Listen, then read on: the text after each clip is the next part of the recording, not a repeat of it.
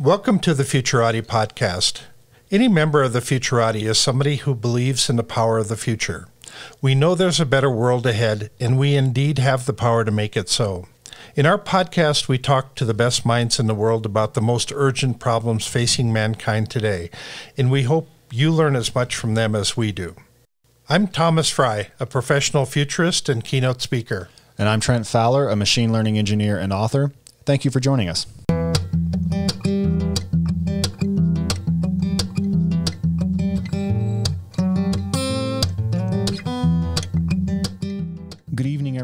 You for listening to the Futurati podcast. Tonight we're joined by Rik Ferguson. Rik is Vice President of Security Research at Trend Micro and is actively engaged in studying online threats and the underground economy.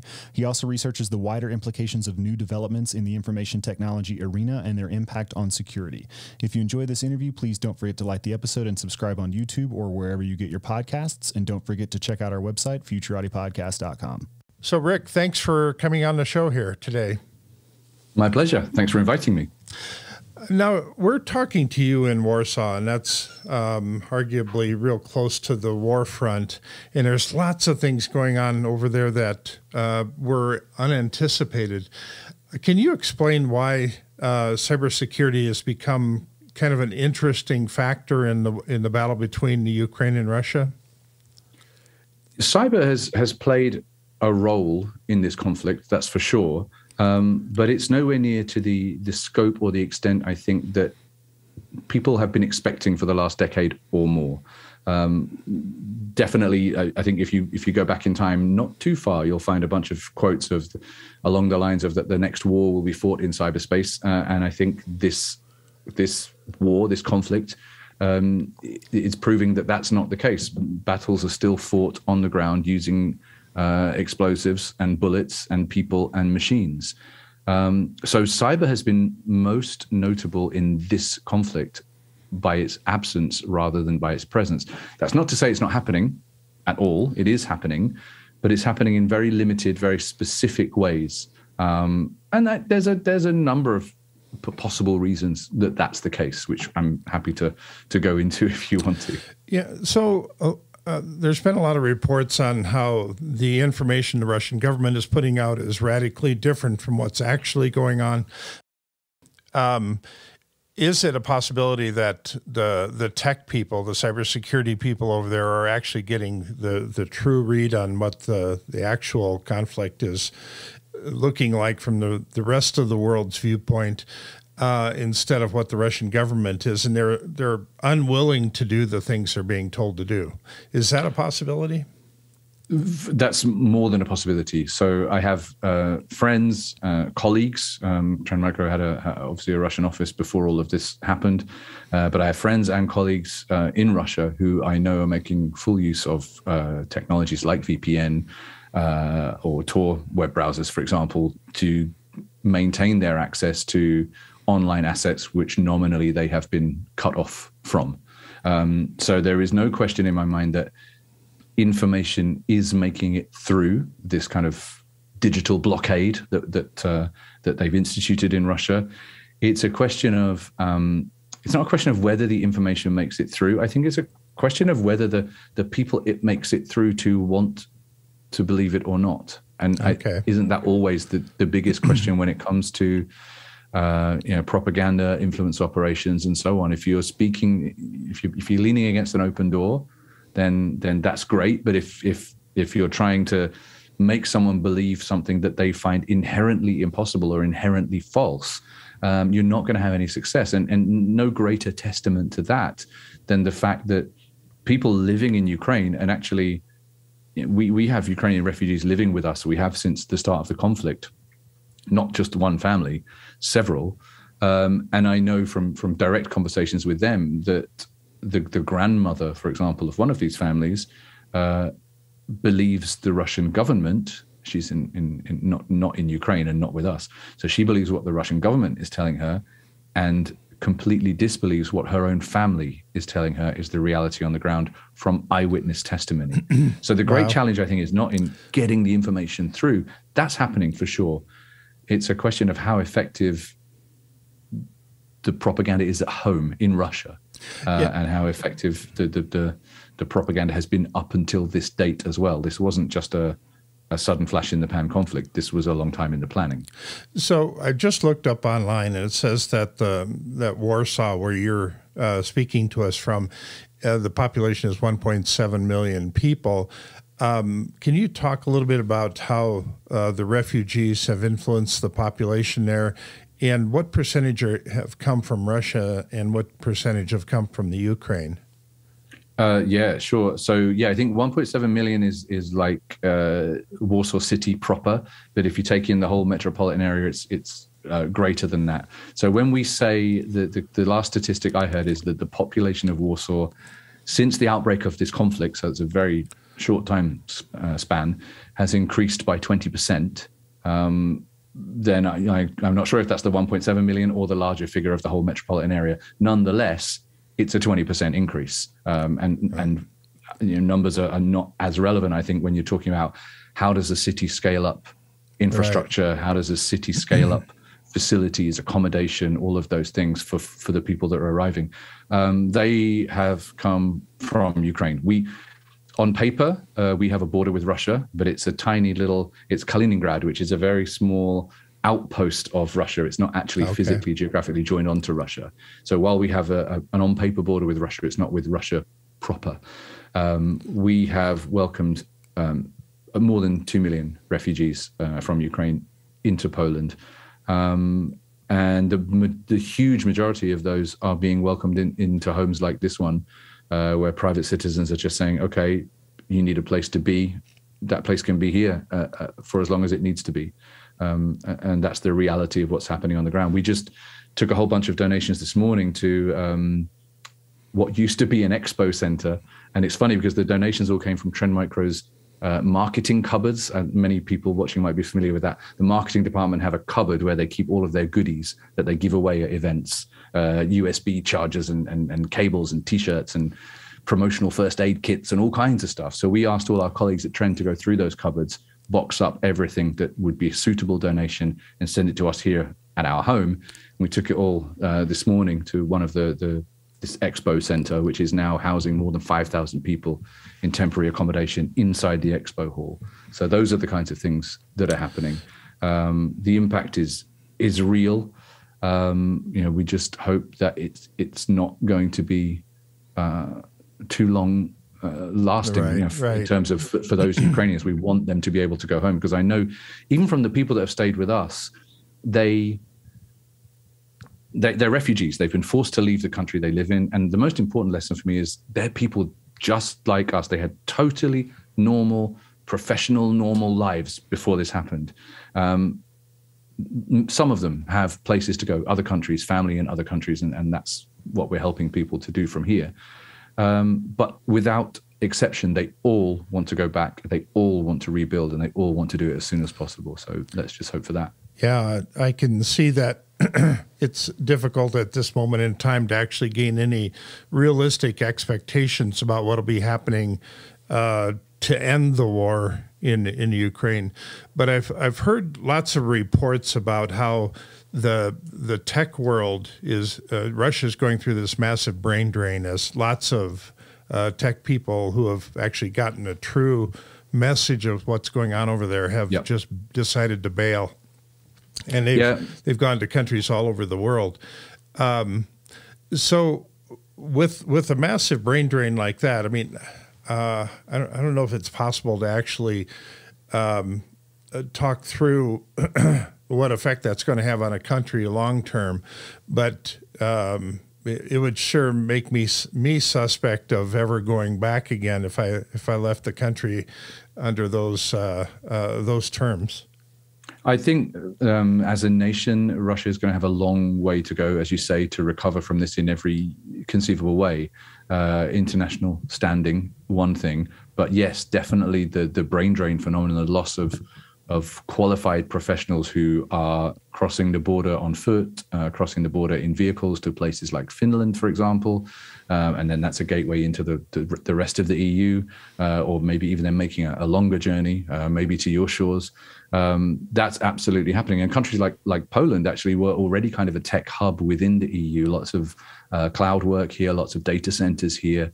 Um, so the the government here has made it very easy for for those people to get a social security number. There's no barriers in place. They have the right to live, the right to work, the right to stay.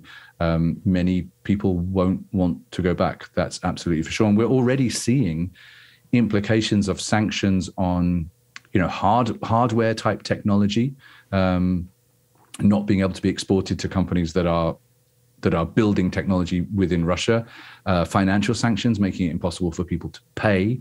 Um, but also the the lasting effect of sanctions on corporate reputation, I think, is one that will be the hardest to shake off. Um, you know, I, I don't want to be throwing stones, but it is not a good look right now to be a Russian cybersecurity company, and there are plenty of news stories that that you know evidence that, and actually there are if you were to get into the details, I'm sure with a lot of competing vendors, there are probably a lot of financial stories to tell that tale as well. Well, it seems like um, on the cybersecurity front, uh, there's uh, talent that can weigh in from kind of all corners of the planet, and and there's ways of masking your trail so nobody knows where it comes from.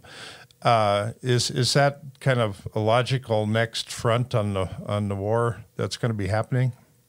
So we we like I said at the, at the beginning, we've cyber has been notable by its absence really in this conflict, particularly when you bear in mind the fact that people were expecting significantly more.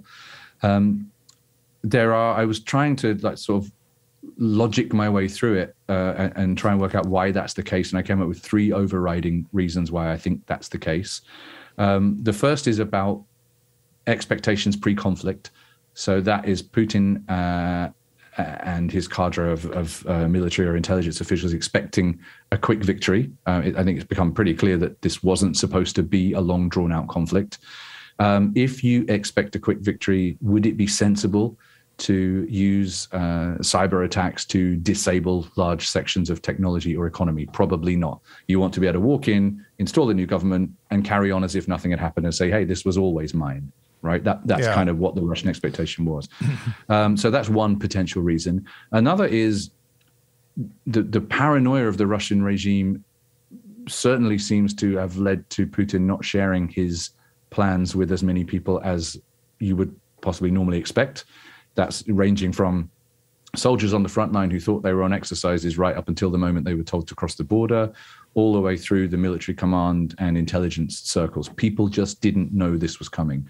Um, if Putin's red team didn't know that this was coming, then they didn't have the time that it, that is necessary, the required time to do the upfront preparation for a successful cyber intrusion campaign, uh, especially a destructive one. If you want to do things like they've done in the past, like degrade um, electricity generation and distribution capability, which they've done twice in Ukraine, um, you need time to prepare that. And if you are not forewarned, there is absolutely no way that you can be prepared to do that. So that could be another really, uh, really strong reason. But I think when I was going through, and I came to the last one, and I went, actually, I think this is probably it. This is what's become the reality, um, because they did start with a small cyber attack, uh, timed exactly on the day that the invasion took place, which was against ground infrastructure um, for satellite communications for KA-SAT, which is owned by by Viasat where they bricked a bunch of ground modems that were used for this satellite comms.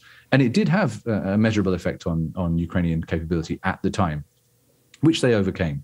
So cyber was definitely a component. But as the conflict, it became clear quite quickly that this wasn't going to go as initially planned. Obviously, the, the Russian willingness to simply destroy infrastructure kind of renders cyber obsolete, useless. If, if you can shell it, if you can bomb it, why would you bother cybering it? If your goal is to degrade Ukrainian TV broadcasting capability, for example, then as they have done, you blow up the TV broadcasting tower.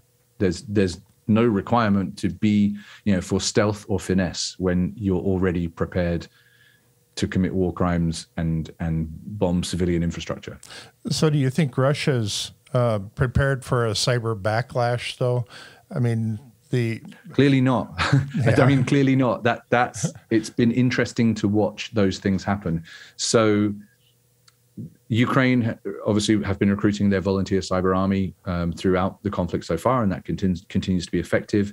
There is um, opposition forces within Belarus, Belarusia, um, who are critical of their own government's collaboration with, with the Russian government in this conflict, who are also taking action, uh, and even people within Russia. So, you know, that's there have been people, for example, within the FSB who have been leaking details of Russian plans to Ukrainians so that they could be thwarted assassination attempts on Zelensky, for example. Um, we've seen examples of uh, the the Ukraine uh, the official Ukrainian cyber forces leaking uh, a huge number of details about active FSB agents spread uh, throughout the world, to the extent of you know there were comments on some of the files like drinks uh, often uh, has traffic violations associated with the, the, details of the people that were being effectively just being doxxed. It's kind of anonymous slash you know LulzSec uh, type behavior, right? Um, and then just today I was reading a news story about the opposition within within Belarusia, uh, who have leaked information from the Belarusian postal service, the details of the Russians who have been using Russian soldiers who have been using Belarusian postal services to send looted goods back to their families in Russia, oh, um, wow. which in itself, although minor, is still a war crime. Right. Looting of civilian goods and homes and, and property and so on.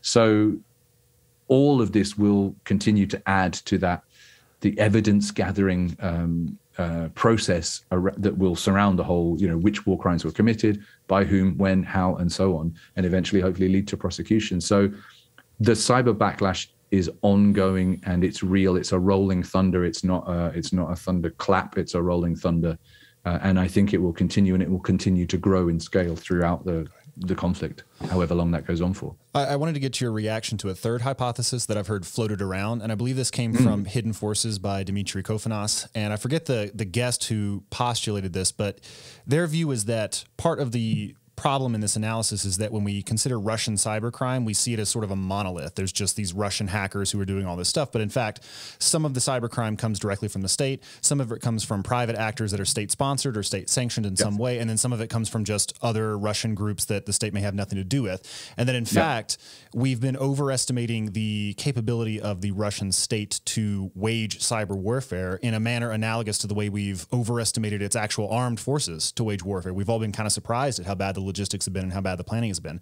So, do you think there's anything to that thesis that actually the Russian state just doesn't have that much cyber crime capacity. That most of the really sophisticated stuff comes from private groups that may be associated with the state but aren't acting directly on its behalf. So overall, they're they're dumber than they appear to they're be. They're dumber than less less competent. I think there's less a lot to it. I think there's a lot of validity to that. I mean, it's certainly the case that um, Russian financial career cyber criminals have always been co-opted by the state for specific operations or for specific skills or for specific knowledge. You know, it wouldn't it, more than once we've seen the FSB in a blaze of headlines arresting uh, a prominent cyber criminal, uh, and then that cyber criminal kind of disappearing from view rather than going on trial. And, and you have to draw your own conclusions about what actually happened there because right. there's no other information available. When you think about you know what has some of Russia's maybe most effective capability being that that is arguably directly nation driven, uh, it's probably in the influence operations arena rather than in the um, the cyber attack and disruption arena. Although that's you know there are exceptions to that, but the most broadly globally successful stuff is kind of the St. Petersburg troll farm stuff, right? That's been the going on for several years now botnets and uh, influence operations through social media, those those kinds of activities. And and I mean, there's a huge future for that. If we think about where does that you know where does that live in the metaverse? What do influence operations look like? I know I use the word. I'm already sorry. I'm already slapping myself. Um, um, but but if you think about an influence operation of today is it's at arm's length, right? You have some kind of distance to the the post that you're reading or the reactions that you're seeing, the sharing of that post. If it becomes an immersive um, 360, possibly even a visceral um, uh, experience, um, our emotional and rational ability to reason it and to deal with it will be very, very different. And we do have to think about that now because, you know, meta or not, um, that much more immersive web is coming. That's that's an unavoidable thing. What I think is really funny about it is we're going to skip Ready Player One entirely because we're not going to need those the full body haptic suits, right? Because we'll already be talking about direct neural link. So what if you have a neural link, you don't need the, the full body suit. Um, but so so yes, the influence ops I think they're good at, and they prove they're good at that, and they have had measurable global societal effects. Uh, even on, in, in, as smaller entities as my own family when it comes to Brexit, and much more global scale when it comes to to politics and and uh, nationalist movements and those kinds of things. But when I said there are also exceptions, when you think about groups like Sandworm, that's nation state capability, and they have led you know directly kind of sabotage campaigns against critical national infrastructure, specifically in Ukraine. But for most of the rest of it, there's an awful lot of crossover between financial criminals uh, and um, and state cyber capability. And I think that became very apparent when, at the outbreak of hostilities, at the invasion of Ukraine, um, you saw certain criminal groups publicly taking sides. Groups like Con- the Conti ransomware group saying, "Hey, we support Russia, and if anyone gets an OA, we'll be coming after you." Yeah. Um, so it became the, the, the level of alignment between career cybercrime and nation state activity became very clear very quickly. Could, could I ask you a follow up on the the influence ops and the narrative engineering piece? You you said that the Russian government has evinced rather a lot of capability in that area, and I know that especially with the 2016 election, there was just you know people going on and on and on about how the Russians had influenced it, and they were engaging in these really really targeted campaigns aimed at swing voters, and you had the whole Cambridge Analytica scandal. Yep. And yep. I, I, believe there's a certain amount of that, but I've also heard you know reasonably convincing counter arguments that actually the bots didn't have that much penetration, and and, and yeah, there was there were some impressions, and probably people's opinions were swayed one way or another, but it doesn't look like it was really such a large scale thing. It wasn't. They weren't literally moving the tectonic plates of society around to engineer an outcome they wanted. So, given that you're an expert in this area, I just thought maybe you would weigh in on that. Do, do you think that? Go ahead. Yeah. I, I think like tectonic plates that things move very slowly to the point where even if you go stand in Iceland with you know and you can look at the North American plate from the European plate, nothing is moving. If you stand there and look at it, nothing is moving. Nonetheless, it's moving um, and that's undeniably evidenced with, the fullness of time. Right. Um, I I kind of had, I don't know if it's a privileged or, or more of a unique position on being able to see that change. Uh, and this is a, this is a totally personal story, but I think it's more than anecdotal. Um, I left the UK before Brexit was a big deal, right? and Brexit for me is the 2016 election for you. That it's the right. the same like. Right how did that happen? Like, what made that happen? Um, you know, whether you support it or not, it's really interesting to look at the dynamic of how did that happen because both of them were unexpected mm-hmm. outcomes at the end of the day. Um, when I left the UK, nobody cared. Nobody cared about nobody cared about me leaving. That's true, but nobody cared about Brexit either, right? So it it wasn't a conversation that we were having in the pub. It wasn't a conversation that we were having in my family. It just wasn't a conversation we were having unless you were a member of the Conservative Party in the Houses of Parliament. And they've been arguing about it for decades. So business as usual. I left the country. I went to live abroad.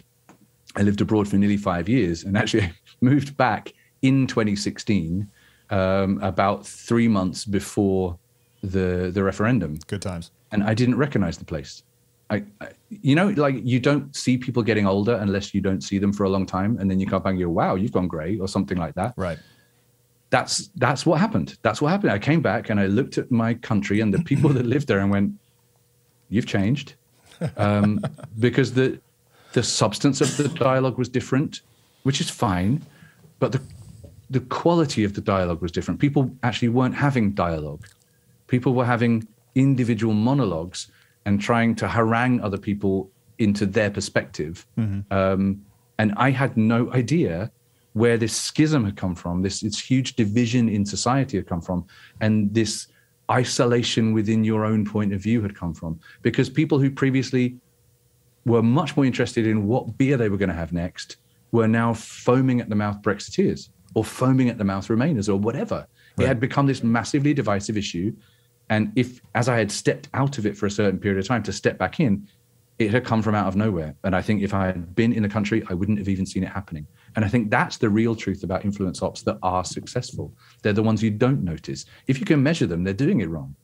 Right. It's it's the very subtle ones that are just kind of in the air that you're breathing that are really yeah. Effective. And it's not it's not that you you you're going to measure the botnet activity and say, wow, look at all of these fake accounts that are retweeting almost word for word all of this content that's clearly being generated in St. Petersburg. If that's happening, it's a really rubbish campaign. Mm-hmm. But if it's permeating its way through other people's regular organic activity on social media, then it's hugely successful. When I see people um, who lived in the same village as me and who were friends of mine after I'd moved back there with my my wife who was not English, sharing content, and they're friends of my wife who's not English, uh, sharing content like our National Health Service is is a British uh, a British service for British people. Right.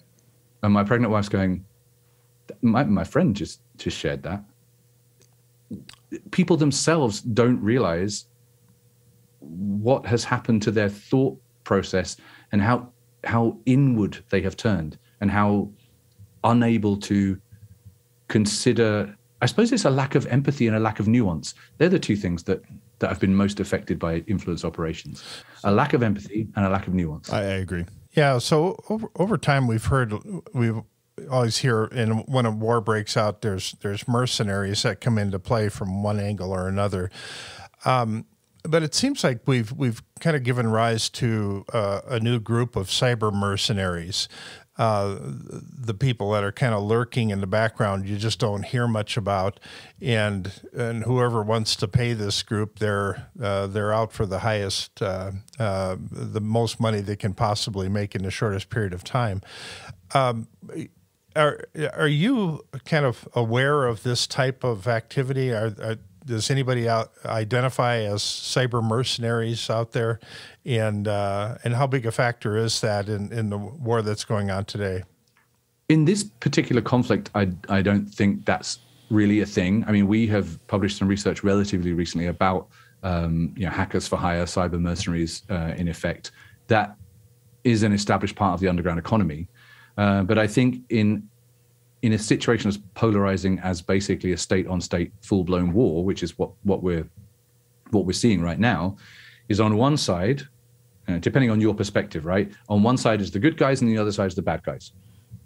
Hopefully, most people get that the right way around. Right. But if if you're supporting the good guys, then you're going to volunteer, and and we're seeing that happening.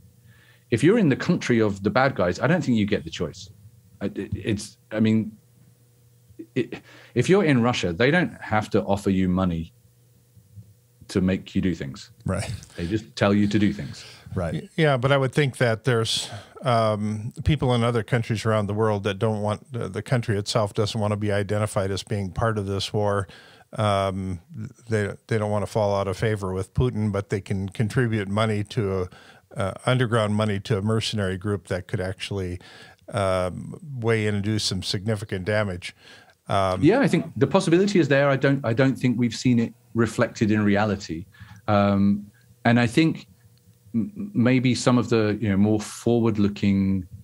When does this really become an issue? When do we really have to be concerned? Is when w- warfare evolves, and I actually think that this conflict will be a, an inflection point in warfare uh, because it's very clear that this isn't the future war we were expecting. Right. I think that's really clear. Um, so I think it will be an inflection point where you know nations will say, okay, how do we wage this future war? Because we can't, you know, if, if we want to have effective military operations, we can't get bogged down in in World War II type conflict, which is what we're seeing. You know, tanks right. advancing across fields. Um, so I think this will be an inflection point in that era, um, and a, a, big area of concern for me, and this is where I think cyber will play a, a huge role in future, is when um, states begin to invest in development of and deployment of uh, artificially intelligent kinetic weaponry. So, not remotely piloted drones, which is what we're seeing in this conflict and, and previous ones. But imagine, you know, a weapon that you can throw up in the air and it will do reconnaissance work, select targets, and engage according to the algorithms that it was born with. Um, if you have uh, the, the the the capability to influence the operations of your adversaries uh, independent artificially intelligent kinetic weaponry, um, that will be a huge area of uh, research investment, let's say, for cyber operations within within nation states. I wanted to ask you about another potential inflection point, another way in which this conflict is kind of unique, and that is the role that has been played by blockchain technologies and cryptocurrencies. So it's already being heralded as the first crypto war, and there's all this speculation about the possibility of Putin and his oligarchs, the ones who've been directly sanctioned, shielding their assets by putting them in cryptocurrencies, possibly evading the sanctions altogether by using cryptocurrencies. And then there's also the converse situation in which people have donated something like $100 million to uh, Ethereum addresses, Bitcoin addresses, and Polka addresses that are controlled by the Ukrainian government. So uh, I, I don't know that it is that the role crypto is playing is as big as some of the speculators would have it, but it does seem to be playing a role that has never been seen before. And I wonder if you have any thoughts about that. Yeah, I think you're absolutely right. Um, the the sanctions I think were more far-reaching uh, and faster than uh, the the subjects of those sanctions had expected. Mm-hmm. Um, so there wasn't time for them to to, to prepare. Uh, next time around, though, uh, think you know cryptocurrencies will play a much greater role in helping people to park money out of sight. Um, you know, right now it was in yachts and things, which are quite easy to seize, as it turns out.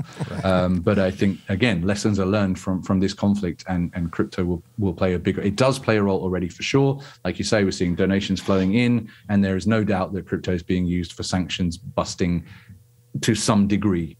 Um, but by and large, I think sanctions are being effective this time around they that won't be the case next time, and crypto is is very much the reason for that. Do you have any thoughts about how it might be possible to handle that in the future? How to, how to structure blockchain technologies or privacy uh, preserving technology? I have in mind Monero maybe, such that you could still have the sanctions be effective, but we're not snooping around in people's personal details. I don't, I don't know that it's possible. I just off the cuff. What do you think? Yeah, I mean, so there there are some things. I, mean, I think as we see um, crypto evolve to mainstream, and I mean by mainstream, I mean government levels of acceptability, and we start to see nations having their own digital currency, cryptocurrency, which is aligned to their fiat currency. Um, we will see cryptocurrencies that don't offer anonymity, and I think that will that will definitely be something that that that surfaces. In fact, we mention it very specifically in the in the Project 2030 research in our imaginary country of New San Joban, they have exactly that a cryptocurrency that doesn't offer anonymity. And we look at what the impact of that might be on criminal markets, uh, what the impact of that might be on old fashioned cash, even. Um, uh, but the other thing I think that's really interesting when it comes to cryptocurrency um, is the other innovations in that area, in you know, in the blockchain area and NFTs more recently.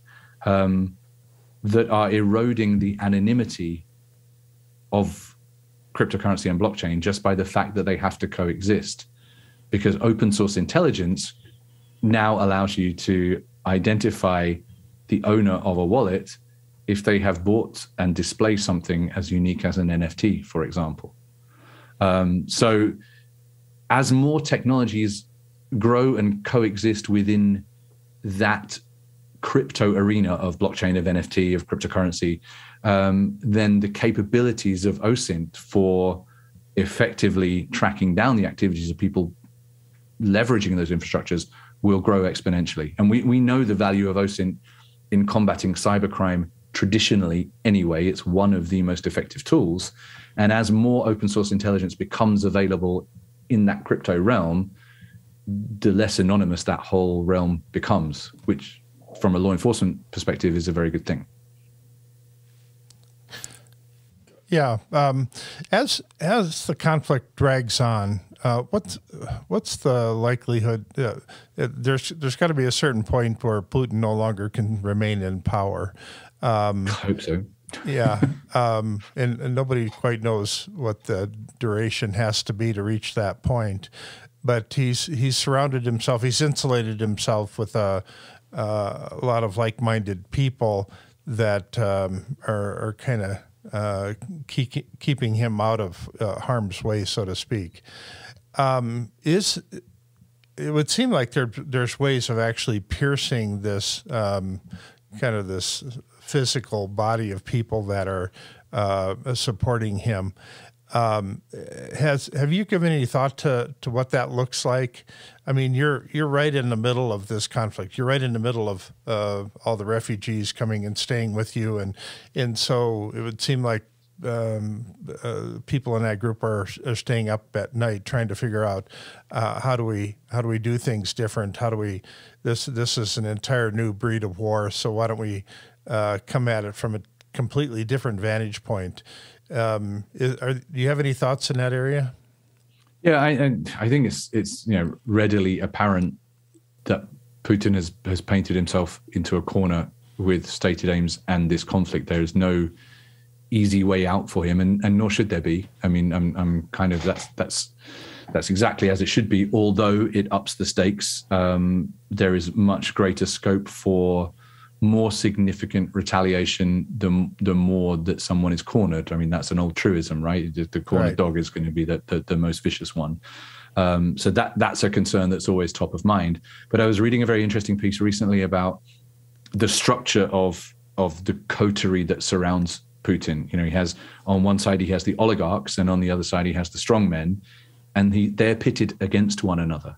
So you know, he's he's a very clever effective dictator, right? He's a very he's a very clever tyrant, and he's done it by the book, which is that you surround yourself with people who believe that the only person that they can trust is you, uh, and it makes it very difficult for them then to be able to talk to one another to affect any change um, because no one knows who they can trust. But to be honest, if it can happen in the USSR, it can happen in the Russian Federation, and we just have to hope that that, that day comes sooner rather than later the sanctions, I think, will play a key role. Um, I think in two ways a population, there's a whole generation that's grown up in a country where they don't have to queue for everything, where the shops are full, where rubles buy things. And my experience of, of traveling to Moscow in the past is that, you know, it was a culture rich, uh, and Moscow itself, I know wider Russia is not Moscow uh, economically by by a long stretch of the imagination, but it was a culture rich Eastern allegory to the Western society that I had grown up in. It wasn't very different. And there's a whole generation of Russians who've grown up in that country. They won't want to say goodbye to that. Uh, and the oligarchs won't want to say goodbye to the European lifestyles and European houses um, that that they had enjoyed up until this point. And it looks like the the only possible outcomes is either a, change to the way that regime is structured brought about from the inside, or Russia turns into a gigantic North Korea with even more nuclear weapons and capability than, than North Korea has right now. Uh, I know which one I would, would rather have. Uh, and I think that the people who have grown up in a, in a, a westernized society and the people who have worked themselves into a position of oligarchy also wouldn't want to live in a giant North Korea. I, I, find that comment about Putin's ability to balance different dynamics and different interest groups really compelling. It's fascinating to me that not that long ago there was this whole war that was waged in Chechnya, and now some of his most ardent supporters actually come from there, in part because he was smart enough to install a strongman yep. that, that rules sort of by proxy and is loyal to Putin specifically and has had free rein to kind of manage the country as he sees fit. And now that's a source of some of their, their strongest supporters. And also, you, you note that the sanctions will have an impact on the oligarchs. And I, have been reading a little bit about the oligarchy in Russia and studying the question a little bit. And one of the more interesting data points that I've come across is that there's actually two different sets of oligarchs that we sort of lump together. One is this group of oligarchs that arose in the early 1990s after the Soviet Union fell and the economy was kind of liberalized, but it was not handled very well. And essentially, they just auctioned off entire industries. And so these people were there and they had enough rubles to kind of get in on the action, and now they're oligarchs. And there's another set that has that is joined at the hip with Putin and has been sort of his loyal coterie from the very beginning. And they're not quite the same group, and they don't have the exact same loyalties. They don't have the exact same incentives. But our sanctions kind of target both groups blanketly, and so it's not clear that we'll get you know we'll get an equal cash payout as a result of that. So I, I don't know if you have any responses to that. Yeah, I I I, think you know we we're, we're targeting Russian money and the people who wield Russian money. And of course, that's both of the groups that, that you just referred to. And we're targeting Russian power and the people who wield Russian power. And those are the strong, that's the strongman group, right? Uh, that, that also he surrounds himself with it and they interact with. Um, I'm not, you know, I don't move in MI5 circles, um, but I'm not convinced that that we have the nuance to know where change would come from because a lot of the thing that we're trying to lever with sanctions in, in this particular respect, not in its totality, but in this particular respect, is greed. And I and that's you need to know an individual extremely well to know exactly what point of leverage you need for for something as emotional as that. Um, and it's not clear. Everything in in the Russia of today and the Russia of recent times, everything is within Putin's gift and has been for, for quite a significant time. So even if you're an oligarch who enriched themselves in the 90s, if you're still an oligarch right right now, it's because you're allowed to be. It's not because you have a lot of money. It's because you're allowed to keep that money. Mm-hmm. Um, everything is with, within the gift of of the leader, right? So we need to target all of them equally because I don't think we have the the the the, the nuance level of of clarity about where potential change could come from that we have no option but to say one of you's got to give in some way or another one of you's got to give yeah, we'll punish all of you together, and that incentivizes you to break ranks if you can, if you want the pain to stop. Yeah, I would. I would think that Putin goes to bed with a increasing level of paranoia every night. That uh, he's worried about people out out to get him, and uh, literally they are. Um, so I, I would think that this is um, kind of driving a level of insanity that um, most people can't relate to. I, I, don't know how you kind of mentally insulate yourself from um, uh, kind of opposing forces in something like this. Um, but I guess I've never been a tyrant, so I don't know. Uh, yeah, I'm doing 16 8 fasting, so I just go to bed thinking about food. that's that's probably better. Yeah. well, it's it's an interesting dynamic, right? You you tend to see this play out pretty reliably when you've got an autarch or, or a mm. tyrant of one form or another. And, and it's not that they're crazy. Like there are people out to get them. You have to know that when you're in charge in this way and you're as hated as somebody like Putin is, or, or where you've got some segments of the population that adore you and some that obviously hate you, like you'd have to be crazy to not know that that latter group exists and that they would like to depose you in some way. So it's, it's not as though it's insanity. It, it's totally, it, it's a reasonable assessment of the situation, but it's got to eat away at you after a while. Well, we've all seen the, the size of the tables that he's been sitting at recently, right? And how far away he's been from, from the people shouting down the table. Yeah. How's the war going? Terribly. Like, yeah.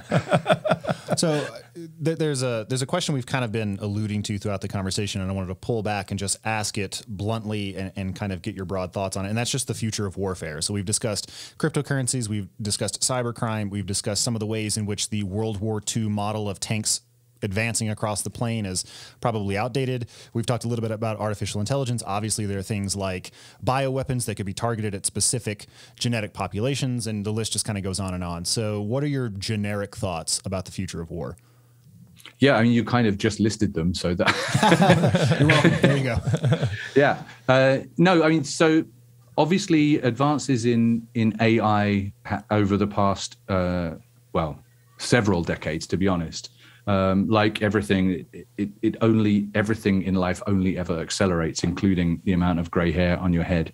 But everything in life only ever accelerates. And if we look at what the the potential for AI is uh, over the next decade, then I think influence ops will be the biggest one because Um, if you can have a campaign that that works through belief, through influ- influencing the way that people think, the things that people believe, and you never have to lift a weapon or fire a missile, uh, then your victory has the potential to be far more lasting than if you had to take something by force.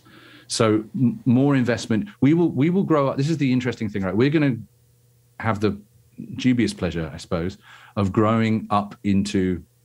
I laugh at how I think I'm still growing up. Right. I'm not.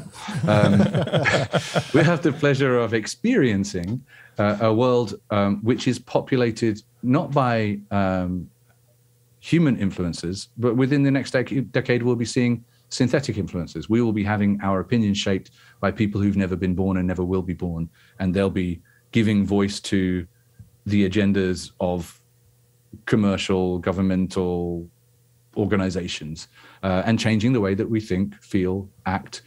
And we will become progressively less good at spotting these things because they will be embedded in the way that we are educated, the way that we consume entertainment, the way that we consume news and, and political shows.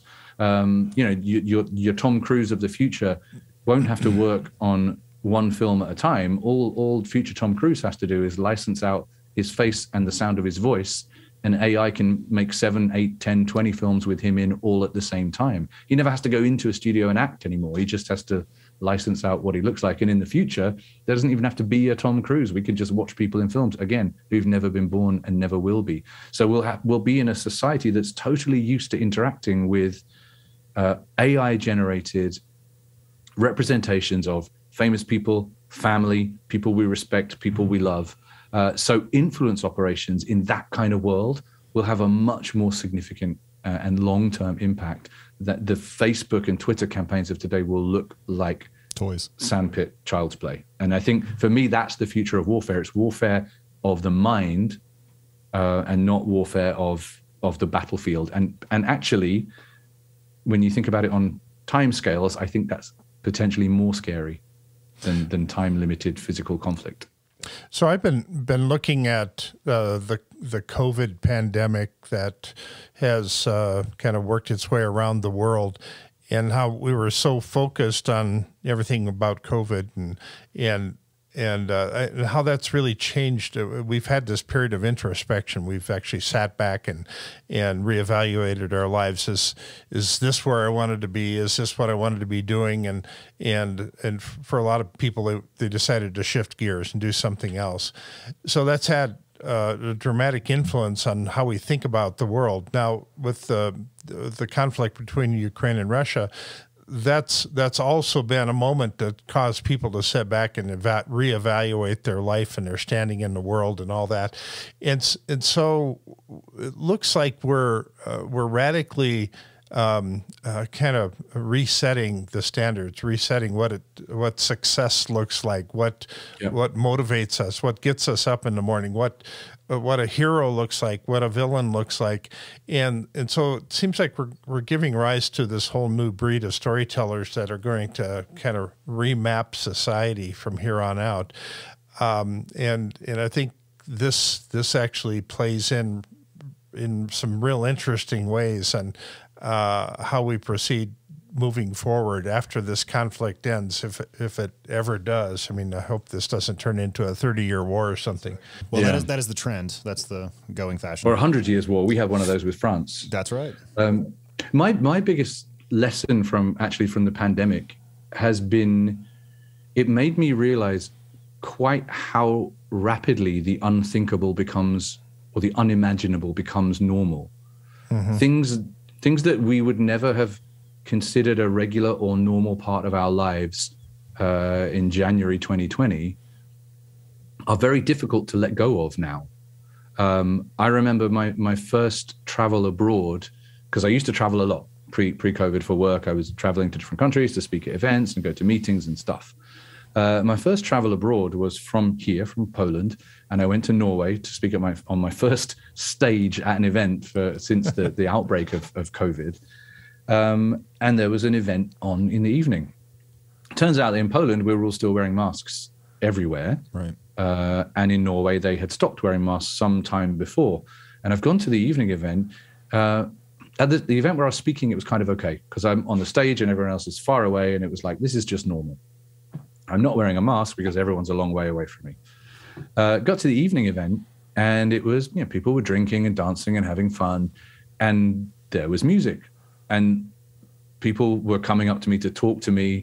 Uh, people I didn't know, oh, I saw your presentation today; it was great. But they were this, you know, right. an inch from my face, shouting into my ears because of the music. I could feel their spit on my cheeks, and I have never had that existential dread through being in close proximity to another human before. Right but post COVID, that's a thing, and it's a real deep seated emotional thing.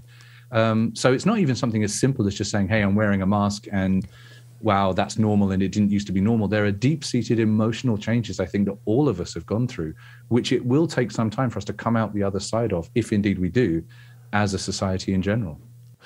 So we're we're coming to the the end of our uh, the podcast here.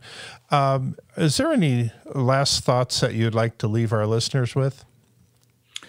Uh, so one one of the things that, that's really important to me because my, my, my job is vice president of security research at Trend Micro, right? So my focus is on research. It's not in helping the company to sell more products or uh, you know anything that's that's commercial. It's about doing research that helps us build better technology, um, but also helps us to better educate um, those around us and the, the, issues that we feel are of concern. So we did this project, Project 2030, where we tried to imagine the next 10 years of technological innovation uh, from the perspective of the individual, from the perspective of a, of a company, and of a nation state. And actually, when we first decided to do the project, it was pre pandemic. As we started to do all the preparation work, um, COVID was big and we had to change our plans and how we were doing it. And it figured, obviously, then in the scenarios that we drew in this research in the end. Um, when you're writing a big research paper like that, and, and I, with my co author, Vic Baines, um, we spent a long time talking, researching, writing, putting it all together. When you're writing, and it's nearly 40 pages of research, you're immersed in the bit that you're writing right now, you're immersed in the research you're doing up front. And then when it's finished, you read through it for punctuation errors and grammatical errors and words that you misspelled or missed out, whatever it might be. And it's not, and then it goes away for someone else to make it look pretty, and finally you get it back.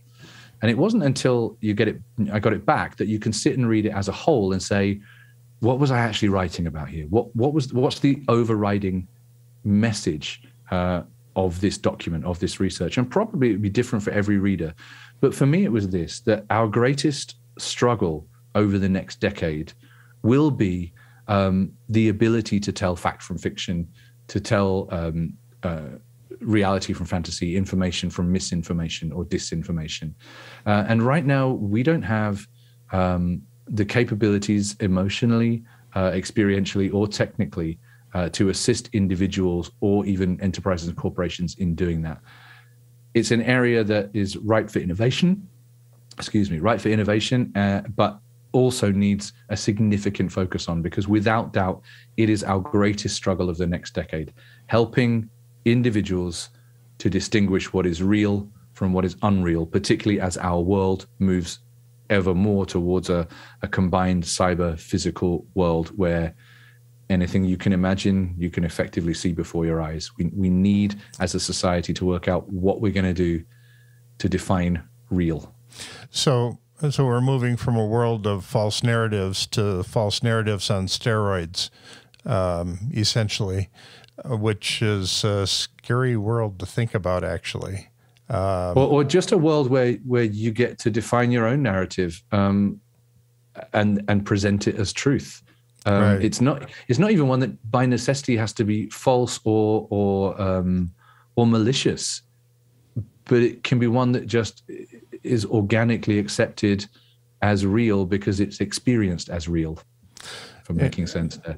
Yeah. So there's also the possibility of rewriting everything in history as a result of that. One um, of the things we um, touch on in the research, as just a little suggestion, is uh, we we say, oh, the United Nations. We're writing from the perspective of 2030. Um, the United Nations are trying to uh, uh, put together resources to establish an objective, factual record of history, um, but it is surprisingly difficult to get international agreement even on recent historical events. And this is before the war that we're currently living through right now. So. Oh, wow. yeah. Yeah. The history books in the future will be, um, yeah. There'll be a hodgepodge of, of fact and fiction, and we won't know the difference. Absolutely.